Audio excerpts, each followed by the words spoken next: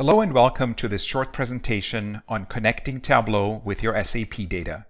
This is part of a series of videos on our Xtract Universal product that you will find on our website or on our YouTube page. With our data connectivity solution for SAP, you can work with SAP data in Tableau Prep, Desktop, or Server to create compelling visualizations and reports. For example, in this dashboard, SAP accounts receivables data is shown by customer, by aging, country, or industry. Let's take a closer look at how our tool enables this. With Xtract Universal, you will have access to your SAP data regardless of where it exists or in what shape or form it may be in, and make that data available in other environments, including Tableau. Step 1 is to connect to your SAP system, just like an SAP user would. This can be your SAP ECC or S4HANA application, or an SAP BW system, for example. You can connect to as many SAP instances as you like. Step 2 is to create your data extract.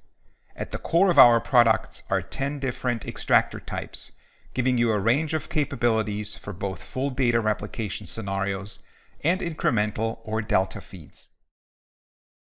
Most data extracts can be configured with just a few clicks and are made easier by having descriptive information about the data source or a live data preview. Step 3 is to define the destination for your SAP data. Xtract Universal supports over 20 different destinations, including all common databases, cloud storage services from Microsoft, Amazon, or Google, Snowflake, and analytics tools like Tableau.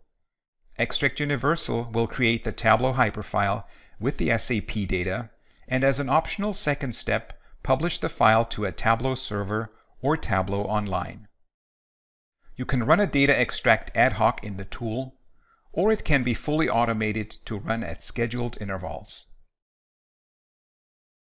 The data from SAP is now ready to be used in Tableau. That concludes our video on how you can connect Tableau with your SAP data. To try it out for yourself, please visit our website and download your free 30-day trial. And check out our YouTube page for more videos. Thank you for watching.